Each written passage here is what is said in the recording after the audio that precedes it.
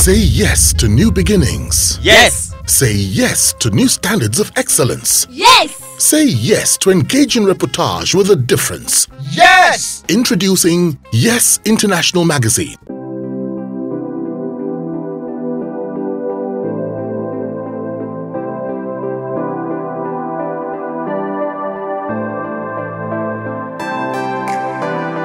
You're a typical uh, Igbo woman, but you speak impeccable Yoruba. How did you learn the language? I didn't learn it. I grew up here, so I didn't learn it. Okay. The, the interest in the language, you know, how did you develop it? Oh well, you, you know now as um as a kid, good part of it, growing up in a place, you know, it, you have the advantage over someone who is already matured before coming to the um to the place.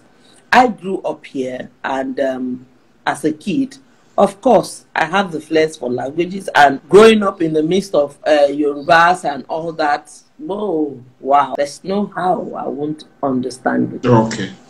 So, uh, how long have you been uh, in Yoruba land?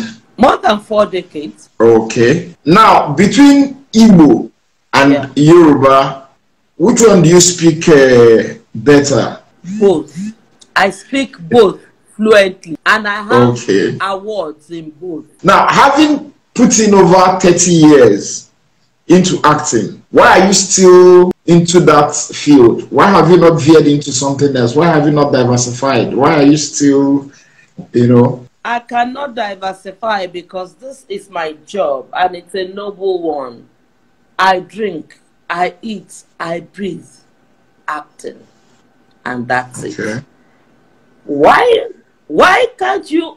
Okay, as you ask yourself, maybe you are a journalist. No no.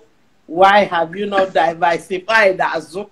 Why have you not left journalism and embraced something else? Your profession. So that's it. Now, the, the, the, the interest in acting, what exactly triggered it? How did it start? How did you come about it? It's something I started from when I was in primary school. The interest has always been there. When I was in primary, when I was in secondary, I've been acting all along. So, what, what, what has kept you going in that line of business?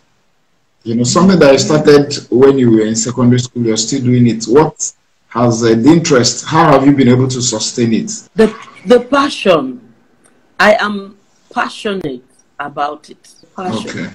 Even if I wasn't an actor, I would still be in the media because it's, it's what I have passion for.